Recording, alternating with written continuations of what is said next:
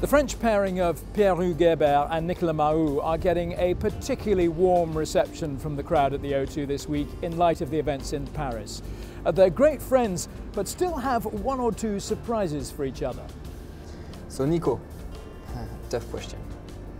Paris Saint-Germain or Olympique de Marseille? Uh, it's easy question. I would say you know the answer for sure. Paris Saint-Germain is going to win the next Champions League. So you have uh, mine, tough one. Steak or sushi? I would say sushi. Yes, I know that.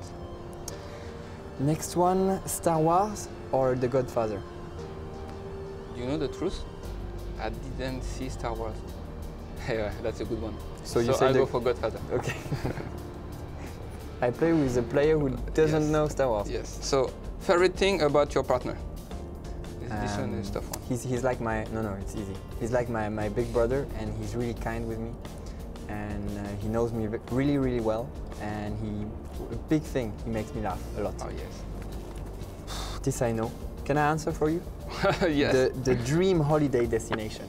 That's where I think you're going uh, on the end of the. Yes, uh, the For the dream is where I go with my wife and son is uh, Mauritius Island just to rest after a long season and uh, we're gonna enjoy it and after, after this tournament I hope we go holiday with the trophy. Ooh, Would be good. Huh? would be good. Which celebrity would you most like to meet? Uh, I would love to meet Emma Watson, the girl who played uh, Okay, Hermione, Hermione Granger, Hermione Granger okay. in uh, Harry Potter because, because I'm a big Harry Potter fan. And this, did you know that? Yes, I watch Okay. So and I read too. are you ready to? Yes. Okay.